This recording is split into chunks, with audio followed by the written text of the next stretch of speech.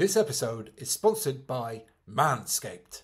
It's Tuesday, folks. It's Tuesday, and Steve Borthwick has announced his side to face Eddie Jones's Japan on Saturday already. Have the mind games begun before this one's even started? Hello, amateurs, and welcome back to our summer test series. So hit subscribe down below to make sure you don't miss out on any future episodes. Now, today I'm going to be looking at the side Steve Borthwick has selected and try to sort of dissect his uh, his thinking generally and then dive into each position as well. But let's talk about that. I woke up this morning bleary eyed, as typical, checked my phone, bad habit, but I do it. And my Twitter feed was full of the England selections.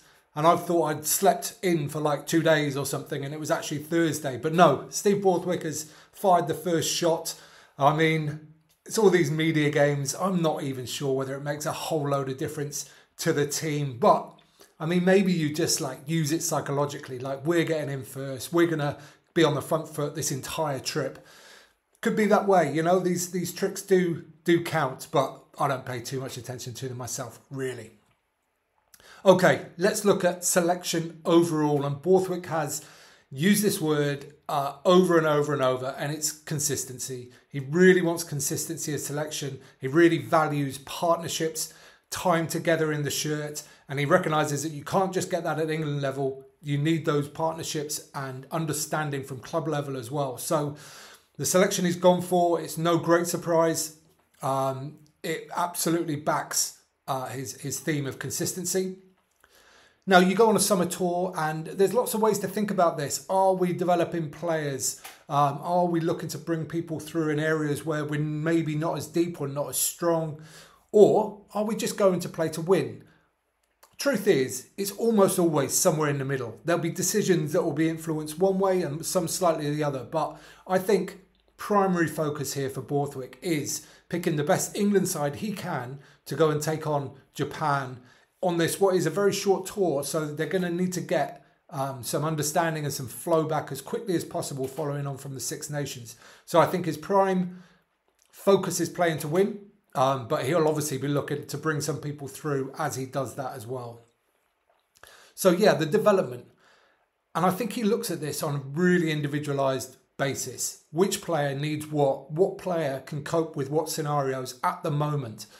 So we've seen him take different approaches with different players. For example, Ethan Roots uh, was thrown straight in at the start of the Six Nations and, and performed really well uh, for a couple of games there. People like Faye Boso and Chandler Cunningham South were on the bench initially, and then Boso got his chance. And when we get down to it, we'll see that Chandler Cunningham South is getting his chance to start his first test this week as now. So I think it's uh, horses for courses. I think he looks at what he's got, looks at the player individually. He, he obviously clearly talks to these players on a really regular basis. Uh, he knows exactly what's going on in their head. He often quotes, or not quotes, but describes how players are with him and what he feels that players can bring. So um, there's development, um, and you look at some of the players that have been left out of this matchday squad, and you'll see a lot of them are the younger players, least experienced players. And then the last factor I would say is how fresh these players are. Are they rested? Do they need a game? Um, all these factors are going to play in to each of these individual selections, but I think it's it's kind of from the top down, really. Consistency, playing to win, then looking at development and who needs what. Ladies and gentlemen, it's my pleasure to announce that Smooth Sack Summer is officially upon us. When you're playing in the summer sun, make sure you're groomed from pubes to bum. Thanks to our friend at Manscaped, you can make this season your smoothest yet. The Performance Package 5.0 Ultra is the ultimate bundle to keep your boys downstairs cool while looking hot. Join the 10 million men worldwide who trust Manscaped with our exclusive offer Get 20% off and free shipping when you go to manscaped.com and use the code TARP20. That's T A R P 20. Summertime and the trimming is easy. Have you really done any male grooming if you haven't nicked a nutsack? I know I have, and I have to say, I've never felt more confident thrashing through the bushes than with the Lawnmower 5.0 Ultra. Every man knows how scary it can get when going for a close shave below the belt. That's why I trust Manscaped for all my sensitive areas. The Manscaped Performance Package 5.0 Ultra has everything you need to prepare that summer bod.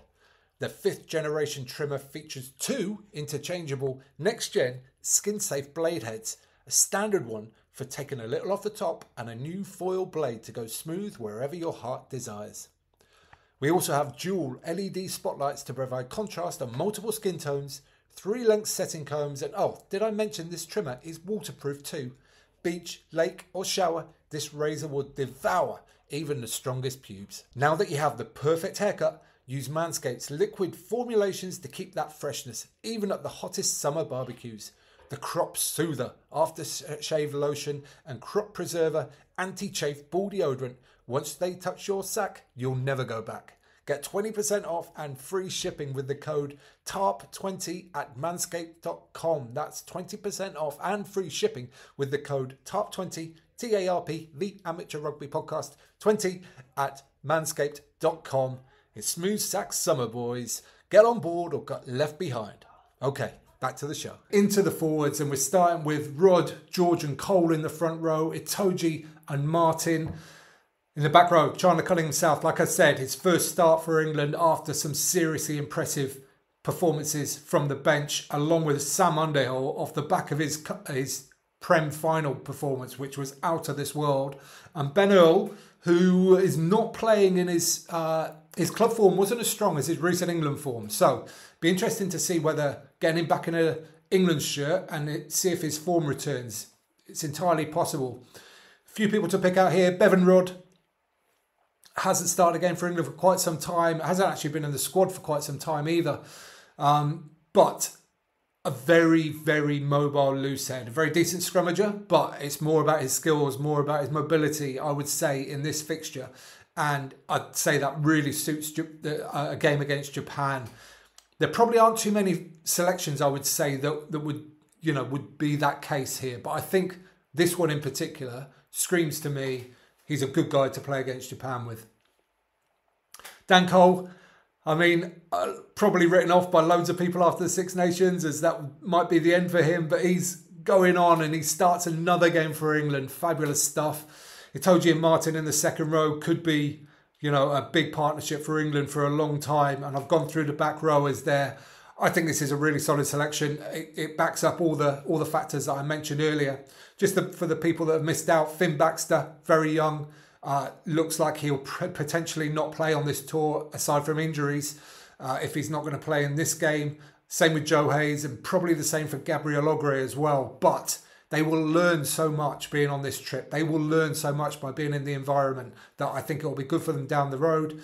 Uh, also missing out on selection, Alex Coles, who's who's done one well for England whenever he's played, one of Northampton's key players, uh, but doesn't get the nod here with Charlie Ewels on the bench in the second row sub spot, who has had a fantastic season and is probably playing the best rugby of his life. In the back row, Ethan Roots and Alex, Alex uh, also miss out with uh, with Tom Curry, excuse me, taking the spot on the bench, and I'm pretty sure he only came on tour to stop his brother getting that spot again. Poor Ben Curry, not in the matchday squad once more, um, but I'm sure some of these guys will get chances throughout the tour.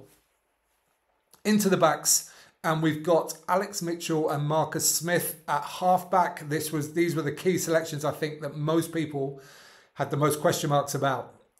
Ollie Lawrence and Henry Slade in the centre, continuing their fine form at the end of the Six Nations.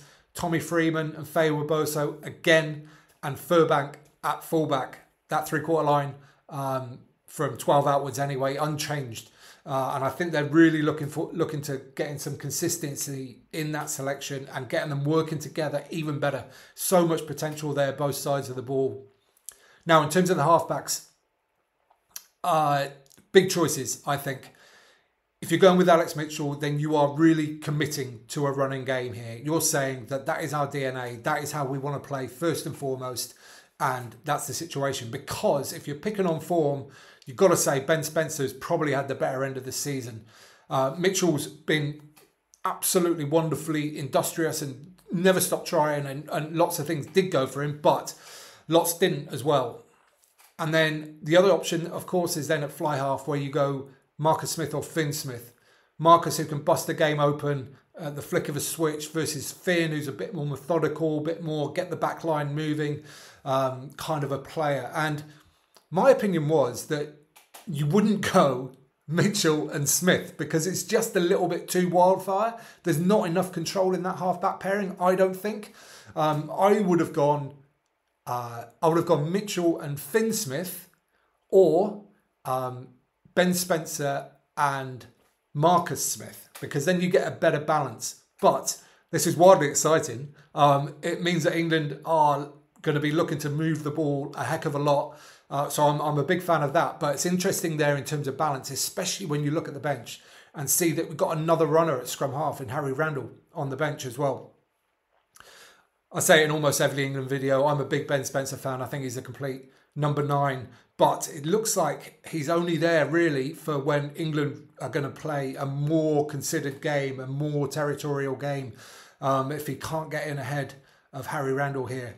Um, anyway, uh, Fin Smith also on the bench, uh, and Tom Roebuck, who will make his debut if he gets on or when he gets on. I'm sure he'll get on. Who has been doing great things for Sale Sharks on the right wing this season. Missing out, Ben Spencer, as I already mentioned. Fraser Dingwall, who's been so good at club level. Uh, just wondering whether he it might just take him longer to step up to international level, but he's so effective. Post carry meters, I think he had the best in the Prem final last week. He does things that you don't expect, really. Um, then Luke Northmore as well missed out. Great attacking player, but I want to see more defensively from him. Premiership's top try scorer Ollie Sleightholme couldn't get a look in, uh, along with Freddie Steward, who I think if he's not starting, he's never going to be picked on the bench because he just doesn't bring a big enough point of difference. And another fullback, Joe Carpenter, who's also been great for Sale. Okay. What do we think of this team? What are we looking for them? Important words from Jamie George and George Martin this week, who kind of echoed each other in saying that they're not starting for nothing now. That clearly was the case at the start of the Six Nations. They felt like the World Cup was something completely separate. They were starting a new project, and now they're some way through that project. They've got pillars of their defence in place. They've shown they can attack with verve and width and accuracy. So it's exciting, but they both sort of said also that they're a long way from where they are. It's a good start. Henry Slade this week also excited about the defensive challenge playing against Japan, a team like to go wide, wide, plenty of width, plenty of exciting players. He's really excited by that, but also excited about where England's attacking game might go. Having really focused on it halfway through the Six Nations, it really switched into gear pretty quickly, considering they hadn't spent a lot of time on it up to that point. I just see this as a, the strongest 15 that uh, he could have picked on the on the day. Um, I think looking at it, there doesn't seem to be too many players there that need a rest. Uh, they all seem to be selected if they're available. So good to go. Now then, the Eddie factor. It's taken up almost no column inches, I would say, in the UK press. And for me, rightly so. Like, it, it just noise now, and I don't really pay too much attention to anything he says. Uh, it's not uh, it's not a factor for me. It doesn't seem to be a factor for any of the players that were involved in the Eddie Jones era. So crack on. One last thing, it's not being broadcast, which is quite a strange thing. No uh, big broadcaster has picked it up, so it's going to be free to watch on RugbyPass TV. I think you need to set up an account or something like that, but but you don't have to pay anything. And the other reason why maybe it hasn't been picked up is because it's 6:50 a.m. on Saturday morning. Okay, that's it. That's it in the can. That's what I think about this England selection. I'm excited. I think this could be a wildly attractive game in the heat of Japan on Saturday morning, our time. But what do you think? Do you think this is the right team to take England forward in this fixture? Do you think this is the right team to uh, for consistency, for looking to win, for developing players? Uh, let me know. Let me know in the comments down below, and I'll join you there for a friendly conversation. And you can subscribe there. You can watch that one next, and do not forget to get out and play.